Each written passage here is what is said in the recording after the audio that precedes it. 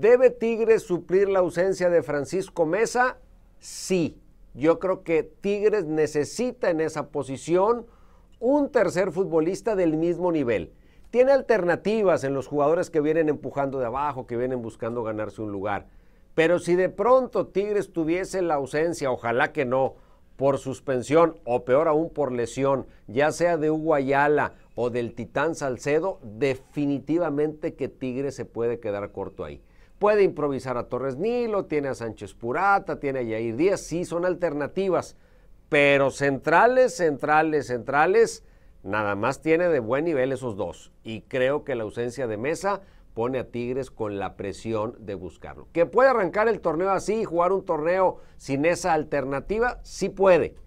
Pero también eso le podría costar caro. No sé usted qué opine, si usted como aficionado Tigre se sienta tranquilo y diga no pasa nada yo creo que sí puede llegar a pasar algo si Tigres no cubre la posición. Hoy no pueden gritar a los cuatro vientos, queremos un central, porque por el primero que pregunte les va a costar el triple, y eso es comprensible.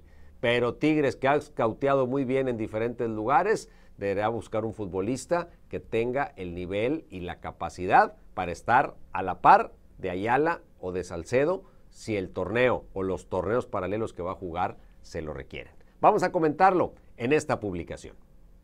Y le quiero recordar que Billiards Pool es el lugar ideal para pasarla en grande con la familia y los amigos. Fíjese las promociones que tiene. Lunes, martes y miércoles, 3 por 2 en horas de billar. Juega 3 horas y solo paga 2. Y todos los días la cerveza al 2 por 1. En el mejor ambiente de la ciudad, con las mejores mesas de billar y el mejor lugar para pasarla en grande con la familia, con los amigos y con los compañeros de trabajo. Vamos al pool, todos amigos, en Billiards Pool.